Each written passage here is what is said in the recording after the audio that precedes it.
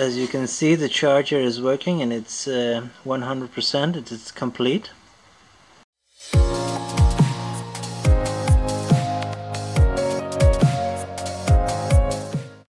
And after countless times of pushing and massaging the button to turn it on I finally you know this is like a, some kind of uh, plastic rubber thing that will protect it. So I primarily bought it so I could swim with it but I cannot swim with it, with it anymore because the seal is broken because I massaged it.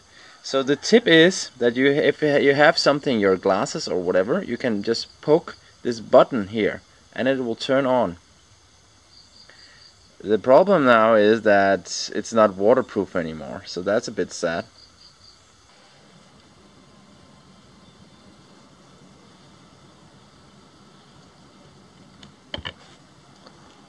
so you can turn it on by pressing this little thing here. I don't know if you can seal it up in, in some way but you know if you massage this too long and if you try to push it uh, then it's uh, it will spoil at some point. So just uh, a warning and information and I would like to know if others have the same problem with this uh, Garmin type. It's a Forerunner 910 XT. Bought it for swimming, but not swimming with it anymore. Maybe also I, there's somebody that has a nice suggestion how to seal this off and still use it. When when you don't have the all this plastic here and you can just use uh, something to poke with, it's much easier to turn off on and off.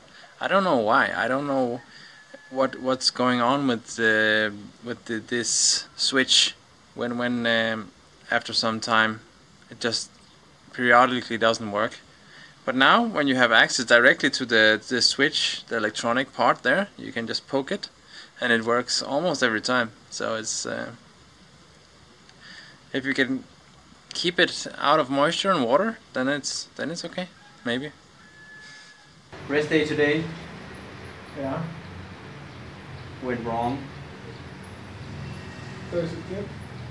But it's loaded, is it? It's loaded. As you saw, we had a there was a flat tire when we went up first step. So and we went super slow. And Garmin trying to shut off a Garmin. You need to push the button with love to make it work.